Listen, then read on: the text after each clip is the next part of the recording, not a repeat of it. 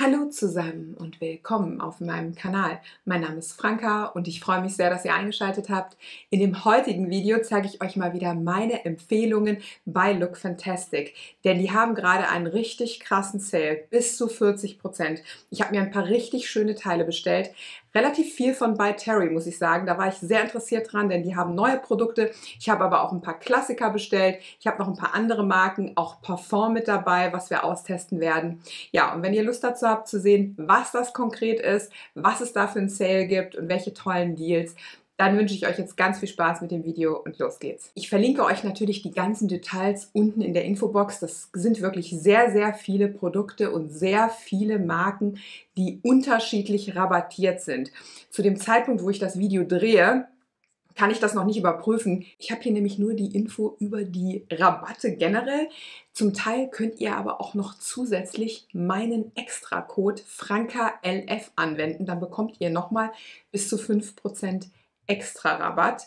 Da ich das gerade zu dem Zeitpunkt, wo ich das Video drehe, noch nicht überprüfen kann, schreibe ich euch diesmal keine Preise rein. Aber ich verlinke euch die Produkte einzeln, das heißt, ihr könnt dann nachschauen. Hier sind nämlich auch ein paar richtig coole Neuheiten, zum Beispiel von By Terry dabei, aber auch von diversen anderen Marken. Ich habe das alles auch schon ausprobiert. Ich werde ein paar Sachen auch neu mit euch testen. Und ich habe mir überlegt, da ich euch so viele schöne Produkte zeige, möchte ich auch wieder gerne etwas an euch zurückgeben, denn mir wurde auch ein bisschen was von Klinik zugeschickt. Das zeige ich euch am Ende des Videos und davon werde ich euch auf jeden Fall auch einen Teil verlosen. Und ich packe euch generell eine Mystery Beauty Bag im Wert von über 200 Euro. Da wird ein Teil von Klinik drin sein, ein Produkt von Avant, ein Produkt von Matt Maski. Alles richtig coole Teile für die Pflege. Also wenn ihr daran teilnehmen wollt, schreibt mir einfach einen netten Kommentar, gerne mit dem Hashtag Mystery und schon wandert ihr in den Lostopf und schreibt mir vor allen Dingen auch gerne mal eure Empfehlungen bei Look Fantastic. Was kauft ihr da ständig nach? Weil zum Beispiel Olaplex ist auch sowas, das ist da jetzt auch krass rabattiert und das ist sowas, was ich mir permanent nachkaufe, was ich richtig gut finde und schon seit Jahren verwende. Also es gibt ja so ein paar Cold Favorites Classics, die man gerne nutzt. Schreibt mir das auf jeden Fall. Die ganzen Details dazu verlinke ich euch natürlich unten in der Infobox. Schaut da auf jeden Fall gerne rein. Und dann wünsche ich euch jetzt ganz viel Spaß mit dem Video und los geht's. So, und bevor ich euch meine Empfehlung bei Look Fantastic zeige, zeige ich euch noch eine ganz coole Empfehlung und zwar was Klamotten betrifft. Dieses Video ist wieder in netter Weise in Kooperation mit Armed Angels, einem Kölner Fair Fashion Label entstanden. Ich habe schon diverse Videos mit denen gemacht. Ich finde die Klamotten richtig cool. Die meisten Sachen sind aus Bio-Baumwolle oder aus recycelten Materialien. Das zeichnet sie aus. Das machen sie schon seit über 15 Jahren, lange schon bevor Nachhaltigkeit das Thema schlechthin ist. Und aktuell haben sie gerade eine richtig coole Aktion zu ihrer Active Wear, also sprich zu Leggings, äh, Sport-BHs, Sweatshirts. Und aktuell haben die gerade einen coolen Deal.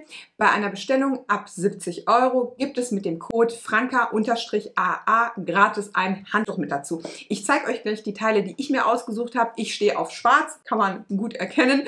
Und ich habe mir eine Leggings ausgesucht, die ist der absolute Kracher. Die ist richtig geil vom Schnitt. Ich muss sagen, ich habe mit solchen festeren Leggings immer ein bisschen Probleme, weil die mir entweder zu eng sind rund um die Waden, weil ich relativ breite Waden habe. Oder sie sitzen mir am Bauch auch ein bisschen zu eng, gerade auch so, wenn das so hochgeschlossen ist. Und ich muss sagen, diese Größe passt perfekt. Ich habe da eine M und ich habe noch nie eine Leggings gehabt, die mir so gut gesessen hat. Die rutscht nicht und vor allen Dingen hat man da auch keine unschönen Dellen drin. Und wenn ihr damit Sport macht oder ihr geht irgendwie in ein Fitnessstudio, sieht das einfach mega aus. Also ich bin total begeistert. Ich habe schon so viel ausprobiert.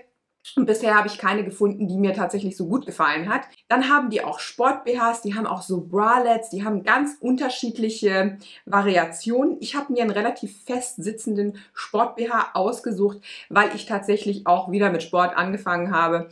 Bei mir ist es immer so, ab und zu bin ich voll drin und dann lasse ich es wieder schleifen.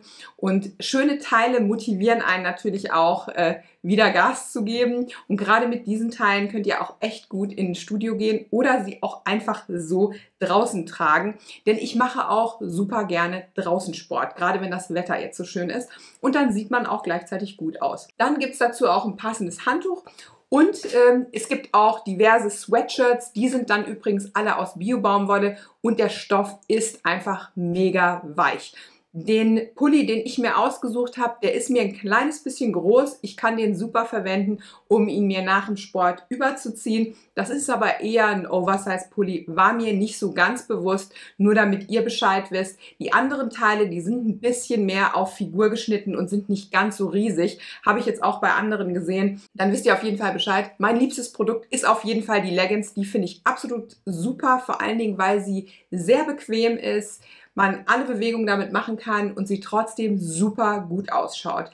Dieses Material ist aus 93% recycelten Materialien und es zeichnet sich dadurch aus, dass es atmungsaktiv ist, strapazierfähig und schnell trocknend. Und das finde ich perfekt. Also wenn ihr Lust habt, die Marke mal auszuchecken, schaut in die Infobox, da habe ich euch das verlinkt, auch nochmal mit dem Code und auch die ganzen Produkte, die ich euch gezeigt habe. Jetzt geht es weiter mit dem Video. Viel Spaß! So ihr Lieben, dann starten wir jetzt mal mit meinen Sale-Empfehlungen Beauty Haul bei Look Fantastic, Sachen, die ich auch neu bestellt habe.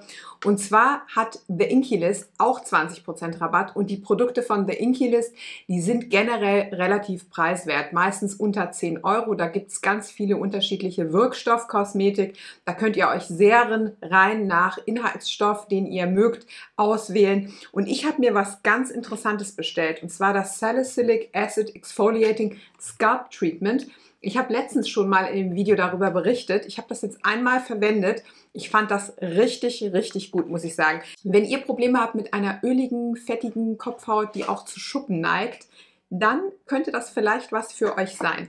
Das sieht so aus. Da kommt quasi so eine, ja, so ein, so ein Teil, mit dem ihr das auftragen könnt. Damit geht ihr euch an den Kopfhaut gebt das auf die Haare drauf, macht das vor dem Haarewaschen. Ihr lasst das Ganze 10 Minuten einwirken und da ist Salicylsäure drin und das peelt quasi eure Kopfhaut. Ihr müsst schon wirklich eine ölige Haut haben, dass das Sinn macht, sowas zu verwenden. Aber bei mir ist es extrem und ich muss wirklich sagen, ich hatte auch das Gefühl, dass ich wirklich so rote Stellen auf der Kopfhaut hatte, wo sich schon wirklich so Schuppen gebildet haben und dann habe ich das verwendet und das war danach weg. Also das hat mir wirklich sehr, sehr gut getan und für so ein kleines Geld dann so einen coolen Effekt zu haben. Äh, da bin ich jetzt wirklich sehr froh, dass ich das gefunden habe. Das werde ich einfach so ab und zu mal machen. Ich würde sagen, vielleicht alle zwei, drei Wochen, je nach Bedarf. Oder wenn man halt sieht, dass man Schuppen hat, das löst im Endeffekt die Schuppen, die sich dann bilden. Also durch so eine ölige, fettige Kopfhaut. Und ähm, die müsst ihr euch dann halt auch ein bisschen abrubbeln. Aber jetzt aktuell habe ich das gerade nicht und ich habe das heute nicht verwendet. Das ist jetzt ungefähr eine Woche her, dass ich das verwendet habe. Ich würde jetzt nicht sagen, dass meine Haare nicht ähm, irgendwie weniger schnell nachfetten, aber ich habe nicht so ein, ja, so ein schuppiges Gefühl. Also ich, fand es wirklich sehr, sehr gut, vor allen Dingen, als ich diese Probleme hatte. Und meistens verschwindet das ja dann und dann kommt das irgendwann wieder. Das ist halt eine hormonelle Sache. Äh, da könnt ihr euch mit solchen Produkten behelfen, aber es wird wahrscheinlich nichts geben, was das dauerhaft ähm, entfernt oder so, sondern es gibt solche Produkte und das finde ich ziemlich gut. Deswegen werde ich das auf jeden Fall weiter nutzen. Und auf den ersten Eindruck hat es mir sehr gut gefallen und diese Produkte sind alle um 20% rabattiert. Ihr könnt versuchen, auf jede Bestellung auch nochmal meinen Code FrankaLF anzuwenden. Es geht wahrscheinlich nicht auf jedes Produkt, aber auf viele Produkte. Dann bekommt ihr zum Teil nämlich nochmal einen extra Rabatt von 5% Probiert es einfach aus. Wenn es geht, ist es ja gut. Äh, letztens ging es auch auf so eine coole Beauty-Box. Jetzt ging es auf einmal nicht mehr. Also manchmal funktioniert das auch auf Produkte, auf die es vielleicht nicht so funktionieren soll. Also insofern probiert es einfach. Der Code geht bei mir immer. Und äh, ja, das fand ich auf jeden Fall nicht schlecht, muss ich sagen. So, das zweite Produkt, was ich mir bestellt habe, ist ein klassisches Hyaluronsäure-Serum von der Inky List. Und hier gefällt mir besonders gut dran dass das ein bisschen mehr Grip hat. Und das soll euch einfach nur Feuchtigkeit spenden. Ich zeige euch mal, was ich mit Grip meine. Wenn ich das hier tropfe, es ist flüssig, aber, seht ihr das hier? Das ist nicht wie Wasser, sondern da ist ein bisschen Substanz. Vor allen Dingen kriegt man dann wirklich so ein richtig schönes, äh, aufgepolstertes Ergebnis. Das gefällt mir sehr gut. Hier ist zusätzlich auch noch Matrixyl drin. Das soll wohl der hauteigenen Kollagenproduktion helfen und man kann das morgens und abends verwenden. Ansonsten ist es relativ reduziert von den Inhaltsstoffen. Ja, und das werde ich einfach mal austesten, bin ich sehr gespannt. Bei Look Fantastic bekommt ihr eben diese Marke und da könnt ihr wirklich einiges sparen. Die nächste Empfehlung, etwas, was ich auf den Lippen habe. Auch Maybelline gibt es dort und auch Maybelline hat einen Sale von 20%. Lohnt sich mega. Meine absoluten Lieblingsprodukte sind diese Vinyl Liquid Lipsticks, wenn ihr so wollt. Das sieht aus wie ein Gloss, hält aber ewig. Als ich das das erste Mal ausprobiert habe, ich habe mir zuerst den hier gekauft, das ist die Nummer 35 Cheeky und dann die Nummer 15 Peachy. Der ist mir alleine getragen zu Peach. Das heißt, ich habe den innen drin und den habe ich quasi wie so ein Lip Liner außen drum und dann hat man ein relativ neutrales Ergebnis. Weil der ist sehr kühl alleine, der ist sehr warm alleine, dadurch wirken die Zähne auch so ein bisschen gelber. Äh, kombiniert ist es mega. Das habe ich gerade drauf, gefällt mir total gut, hält super lange, hält auch Essen aus. Also das ist wirklich richtig krass. Und äh, falls ihr die noch nicht probiert habt, schaut sie euch an. Die beiden Farben finde ich perfekt. Hat mir extrem gut gefallen. So, dann kommen wir mal zu den Sachen von By Terry, wo ich eben von gesprochen habe. Ich wollte schon immer diese super gehypte Foundation testen. Und zwar ist die schon was älter. Die nennt sich Terribly Densilis Foundation. Das ist eine Anti-Wrinkle Serum Foundation, die wirklich gegen Falten sein soll und vor allen Dingen auch langfristig euer Hautbild verbessern soll. Die ist super matt. Ihr könnt das sehen. Sie schreiben, es ist ein Satin Matte Radiance. Ich finde, es ist schon mit einer der mattesten Foundations, die ich habe, ohne dass es aber zu cakey ausschaut und ohne dass es so totmatt ist. Also es ist wahrscheinlich schon ein Satin Matte. Die ist ziemlich teuer. Ich werde sie jetzt weiter austesten, ob sie mein Hautbild verbessert. Ich habe sie jetzt schon eine ganze Weile ausprobiert mit unterschiedlichen Produkten, unter anderem auch mit meinem heißgeliebten Brightening CC Serum. Das habe ich jetzt nicht neu. Ihr seht, das habe ich schon was länger. Das habe ich bestimmt schon seit einem guten Jahr ungefähr. Das ist auch ein Produkt, das würde ich mir auf jeden Fall nachkaufen. Das finde ich absolut genial. Wenn ich das kombiniere, ist es ein bisschen dunkel. Wenn ich das also zusammenmische, das kann man machen. Ich trage mir das meistens als Base auf, aber auch nur außenrum im Gesicht und dann einfach äh, diese Foundation drüber. Und hier habe ich übrigens die Farbe Nummer 7, Golden Beige. Das ist die dunkelste Farbe. Also die Farbauswahl ist etwas bescheiden, muss man wirklich sagen. Die Konsistenz ist relativ dick. Das Schöne ist, im Sommer hält eine matte Foundation natürlich viel, viel besser als eine total dewy Foundation oder auch so eine natürliche Foundation. Solche Foundations mag ich eigentlich lieber, aber im Sommer kann man echt schnell wie so ein Ölfilm ausschauen. Gerade weil man auch noch schwitzt und dann schwitzt man, wird ölig und dann hat man noch ein Dewy Finish, dann ist das einfach nur noch so eine Glanzbombe, sage ich mal. Ich mag lieber Glanz partiell und deswegen bin ich wirklich sehr, sehr positiv überrascht von dieser Foundation, wie das Finish auf der Haut ausschaut und wie mir die gefällt. Also finde ich ziemlich cool, ist nur relativ teuer, also müsst ihr euch überlegen. Mit 20% Rabatt geht's. Ohne Rabatt würde ich die wahrscheinlich nicht shoppen. Aber so kann man das ausprobieren.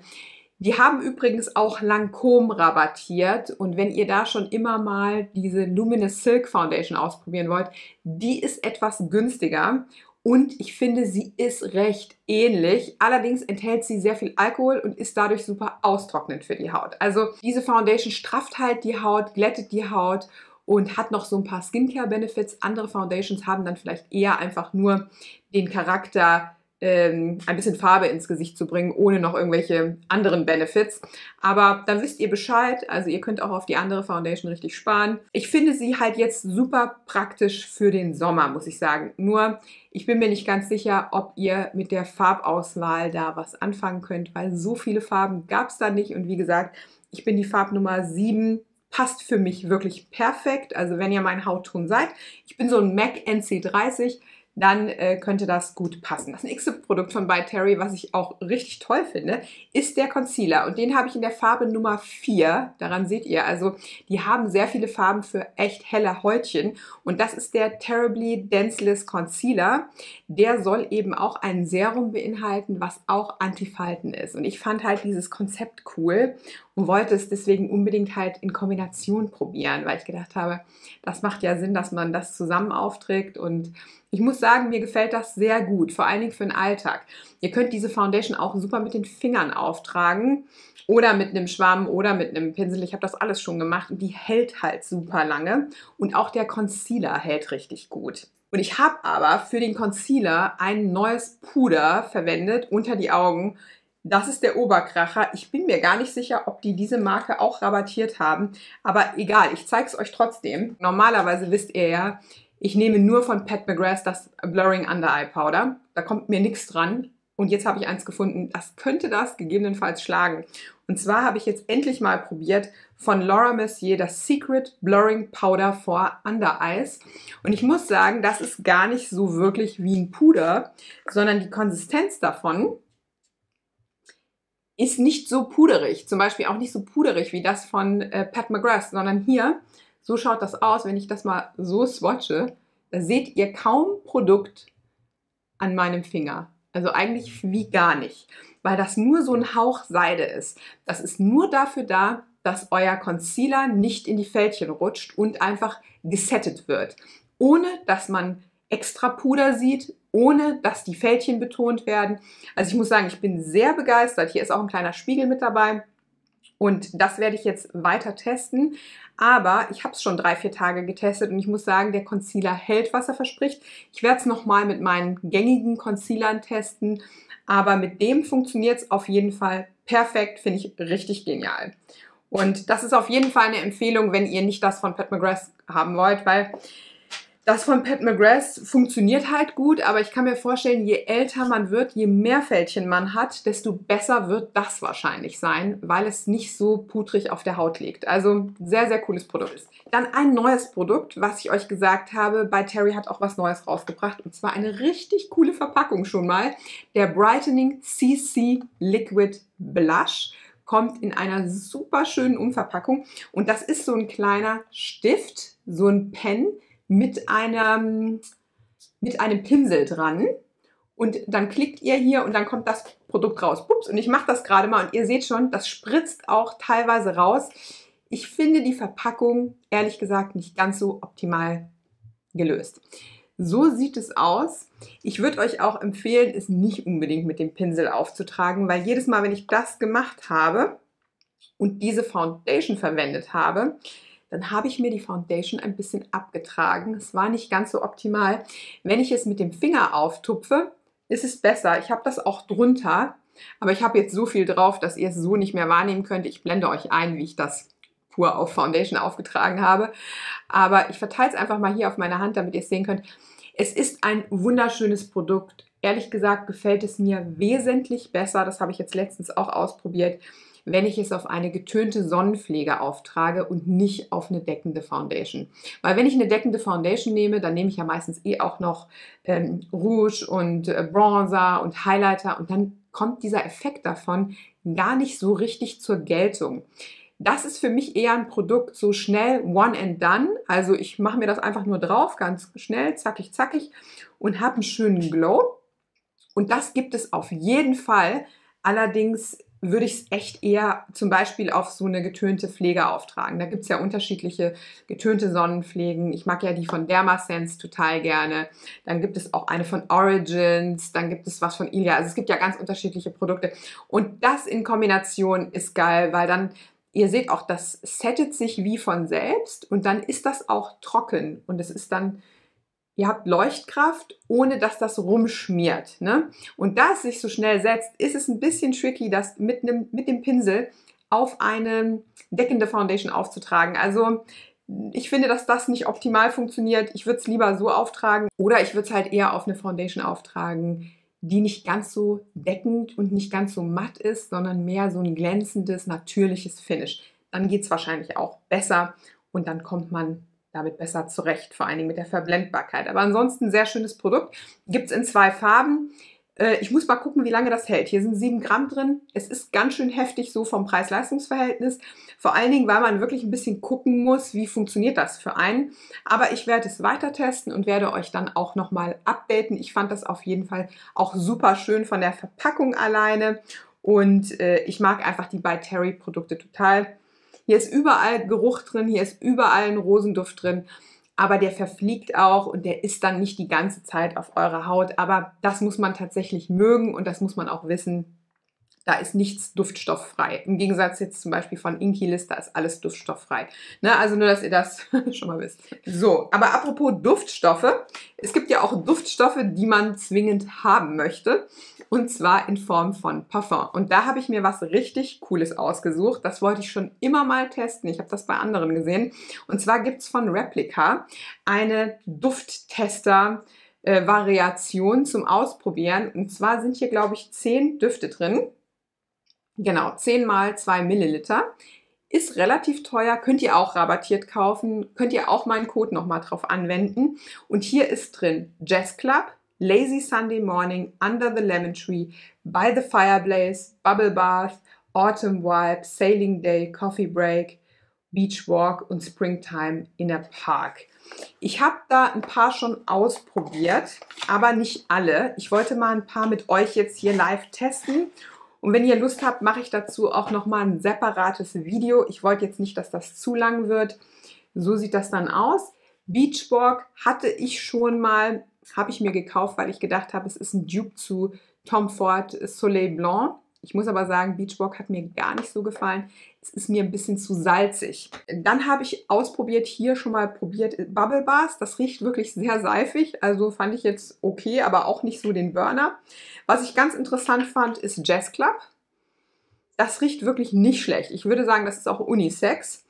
Und jetzt teste ich mal mit euch, das habe ich noch nicht ausprobiert, Under the Lemon Tree. Hört sich richtig schön fruchtig an. Und das sprühe ich mir einfach direkt mal auf. Oh ja. Oh, das ist nicht schlecht. Das riecht wirklich toll. Das riecht wirklich toll. Wie ein, ob es ein Zitronenbaum ist. Da sind auf jeden Fall noch andere Noten drin. Diese ähm, Maison Margiela Düfte sollen einfach immer so einen Vibe wiedergeben, wie er halt heißt. Also Under the Lemon Tree soll dann eben wirklich ganz natürlich nachempfinden, wie das da riecht und wie man sich fühlt.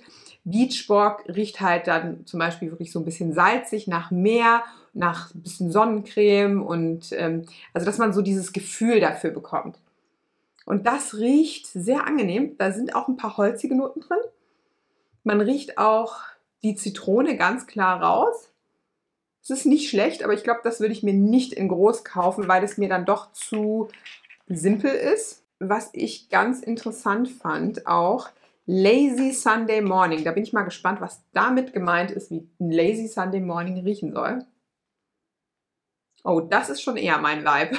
Und ein fauler Sonntag, da stehe ich auf jeden Fall auch drauf. Wow, das riecht richtig gut. Ich könnte gar nicht sagen, was das für Noten sind. Ach, so Hautakkorde, würde ich sagen. Es riecht sehr kuschelig, so dass man damit echt schmusen will und sonntags im Bett bleiben will geil. Ja, also da kann man sich schön durchprobieren. Man hat zwei Milliliter. Ich finde zwei Milliliter auch ideal. Ich hatte letztens so ein Sample-Set von Creed mit im Urlaub. Und äh, das hatte ich auch davor schon mal mit im Urlaub. Ich, es ist immer noch nicht leer. Weil gerade wenn Düfte relativ potent sind, braucht man ja auch gar nicht so viel.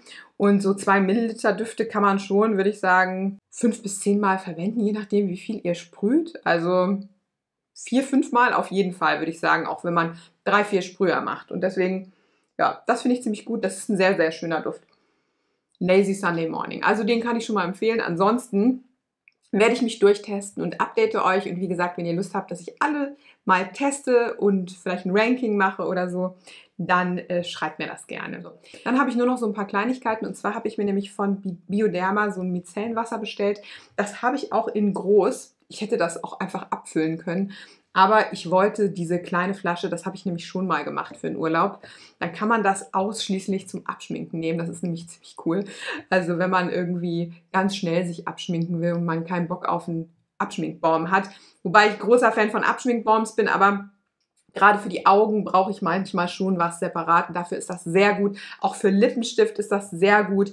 Und generell, wenn man einen Make-up-Patzer hat, ist es sehr gut. Und wenn die Haut gestresst ist von zu viel Sonne, ist es gut. Also es ist das beste Micellenwasser, was es gibt, meiner Meinung nach. Ich liebe es. Und das gibt es halt auch in klein. Und deswegen durfte es mit.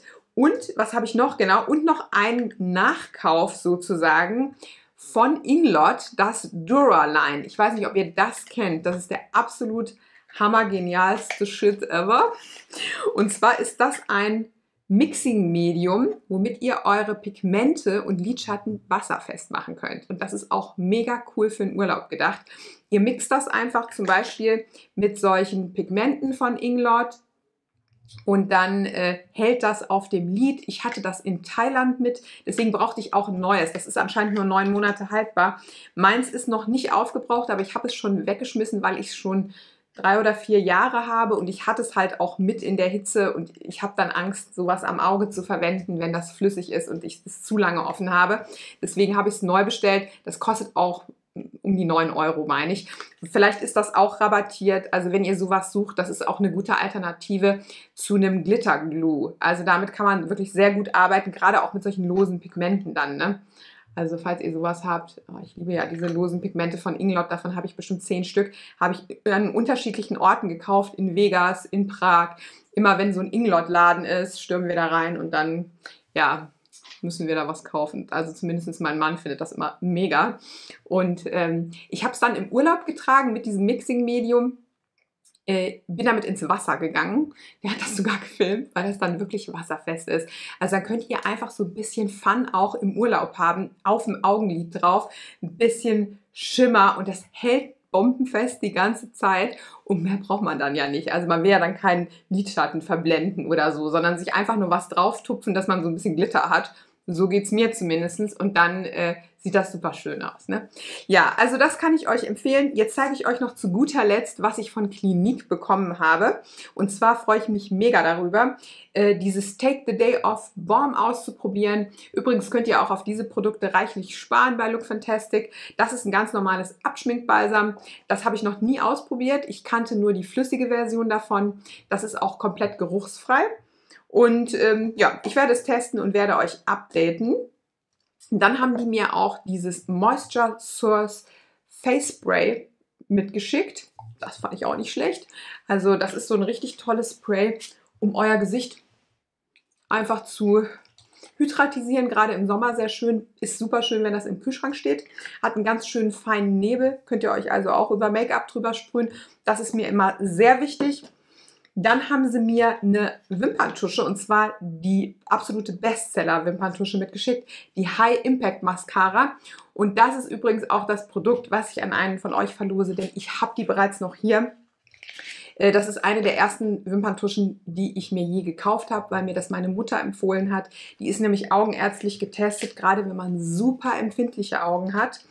Und meine Mutter war total begeistert davon und deswegen habe ich es mir dann auch gekauft. Und deswegen habe ich mir überlegt, könnt ihr das gewinnen, dass ihr es auch mal testen könnt, wie ihr das findet. Das ist eine ganz klassische Alltagswimperntusche, die ich echt super finde.